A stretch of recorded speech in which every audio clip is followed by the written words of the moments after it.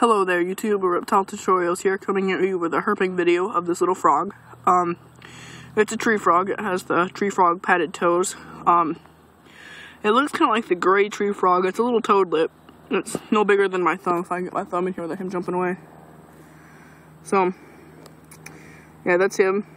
Um, found him hopping, trying to hop over to a tree, and I picked him up. Thought I'd set him over here and make a video.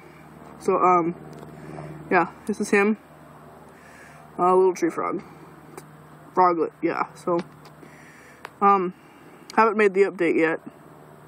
But I thought I'd make this video. Um, I'm in Michigan, if any of you guys have. I'm in West Michigan. If you guys have any idea what this is.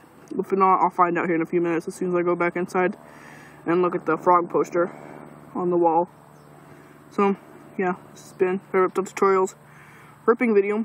Um, if you like my videos, go ahead and rate, comment, and subscribe.